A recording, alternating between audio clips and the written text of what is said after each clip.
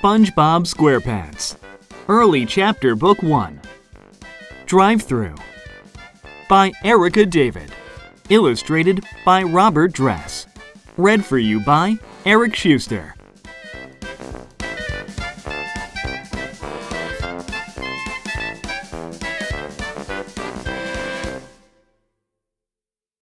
Chapter 1 Mr. Krabs' Surprise Gather round, mateys, Mr. Krabs called. I have a surprise for you. What is it, Mr. Krabs? SpongeBob SquarePants eagerly asked. It's me dream come true, Mr. Krabs answered. A drive through window, and just in time for the Eels on Wheels convention. Oh, joy, Squidward Tentacles said dryly. Mr. Squidward, I think you're missing the importance of this innovation, Mr. Krabs explained. It's possible, Squidward replied. For years now, the Krusty Krab has been serving delicious Krabby Patties to the citizens of Bikini Bottom, Mr. Krabs explained. It's our job to feed as many hungry people as we can. Not just our job, it's our duty, SpongeBob agreed. Right you are, lad, said Mr. Krabs. With this little beauty, we'll be able to serve more customers in less time. And the best part is, they don't even have to leave the comfort of their boats, Mr. Krabs finished. That's wonderful, sir, exclaimed SpongeBob. Very moving, Squidward said dully. But who's going to work this drive through? Why, you and SpongeBob, of course, Mr. Krabs replied. But we're already busy with the customers inside the restaurant, Squidward complained. Come on, Squidward, we can do it, SpongeBob cried. I, I, I'm ready. That's the spirit, SpongeBob, me boy, said Mr. Krabs, chuckling. All hands on deck. It's going to be a busy day.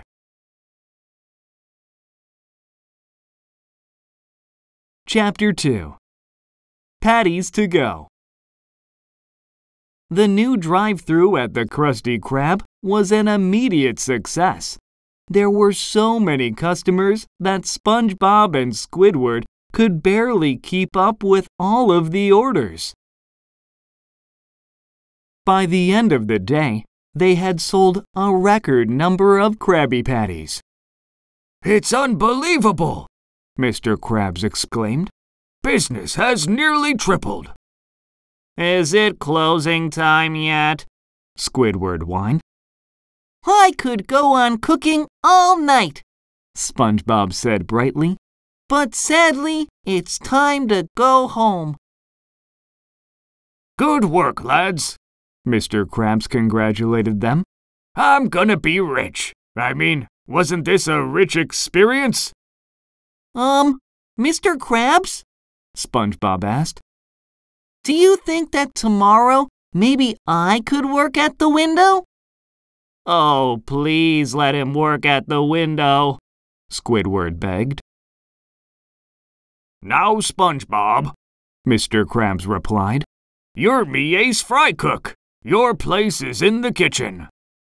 But, Mr. Krabs, SpongeBob cried. But nothing. You're not to touch this headset, understood? said Mr. Krabs sternly. SpongeBob nodded sadly.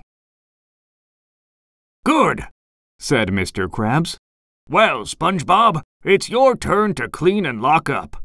I'll see you both bright and early tomorrow morning.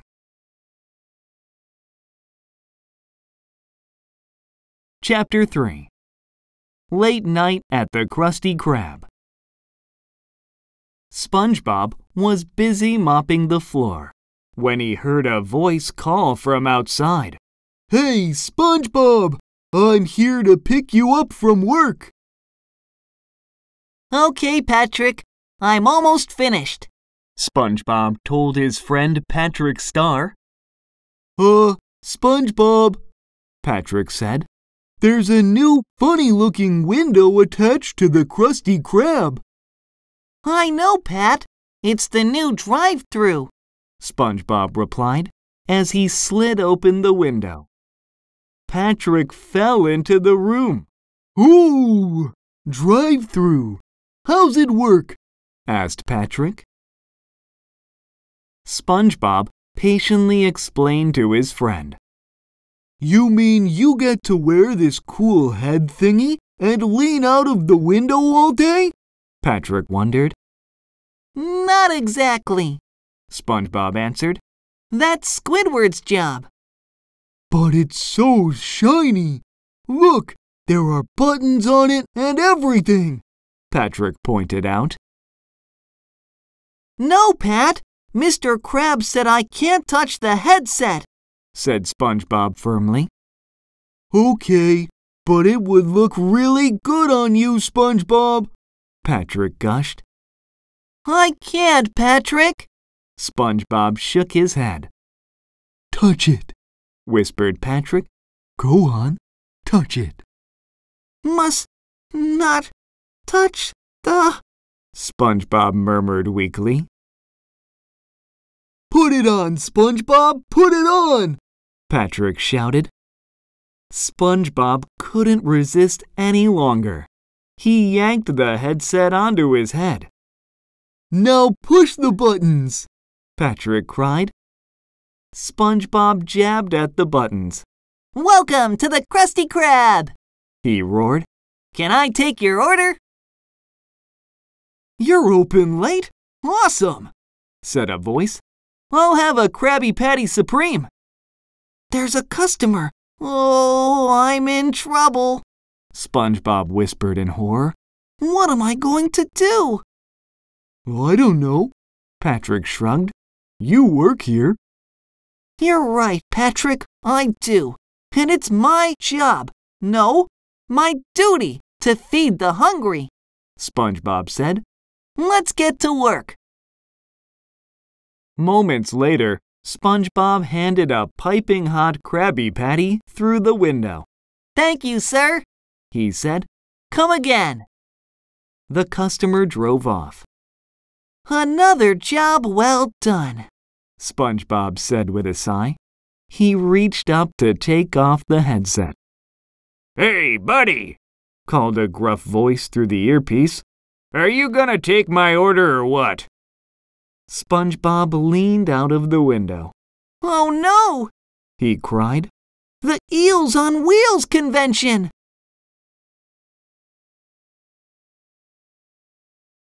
Chapter 4 Eels on Wheels SpongeBob and Patrick scrambled to fill as many orders as they could, but the line of eels just kept growing. How many customers have we served? SpongeBob asked breathlessly. Uh, three, I think, Patrick answered. Three? But I cooked at least 50 Krabby Patties, SpongeBob exclaimed. Patrick! screamed SpongeBob. You've been eating the patties! I was weak with hunger. This is hard work, Patrick mumbled through a mouthful of food. But the patties are for the customers, SpongeBob cried. Sorry, SpongeBob, Patrick apologized. Hey, where's my food? One of the customers yelled. Yeah, we've been waiting 20 minutes, another shouted. Uh oh, SpongeBob, said Patrick. I think they're angry. Krabby Patty! Krabby Patty! The crowd at the drive through began to chant. We're hungry, screamed one of the eels. And we don't like being hungry, do we, boys? The mob responded in angry agreement. This doesn't sound good, SpongeBob whispered. Krabby Patty! Krabby Patty! The angry mob continued to chant.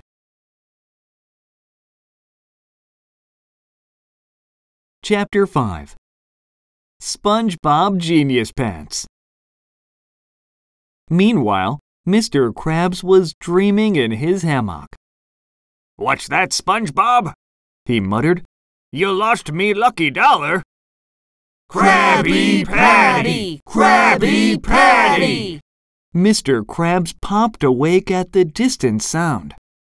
Why, someone's calling for me Krabby Patties! he exclaimed. Mr. Krabs ran to the window. Why is there a crowd at the Krusty Krab? He wondered. I'd better get down there. Mr. Krabs arrived at the restaurant just in time. The angry mob had poured inside, and SpongeBob and Patrick were surrounded. What in blazes is going on here? Mr. Krabs demanded. Mr. Krabs! SpongeBob cried. SpongeBob, I should have known, Mr. Krabs bellowed. Then he turned to the eel leader. And you, who do you think you are barging into me restaurant? Uh, sorry, sir, but that nervous sponge took way too long with our orders, the eel leader said sheepishly. I'm so sorry, Mr. Krabs, SpongeBob sobbed. I'm not fit to wear this uniform. I've betrayed you and fry cooks everywhere. Get up, Mr. Krabs interrupted. You're a genius, SpongeBob. What? SpongeBob asked, puzzled. Keeping the drive through open late is brilliant, said Mr. Krabs. Think of the money to be made. You mean I'm not fired? said SpongeBob timidly. Of course not. I'll be taking the cost of any damage out of your paycheck, but I couldn't fire me number one fry cook, Mr. Krabs assured him. Oh, thank you, SpongeBob cried. Now, get back in the kitchen and make these fine gentlemen some Krabby Patties, Mr. Krabs ordered. Aye, aye, sir, SpongeBob answered as he dashed into the kitchen. Arg, said Mr. Krabs to himself. This gives me an idea. Two weeks later. Oh, Mr. Krabs, SpongeBob exclaimed. I can't believe you're letting me cook and work at the window. I don't deserve this. I don't deserve this, Squidward wailed.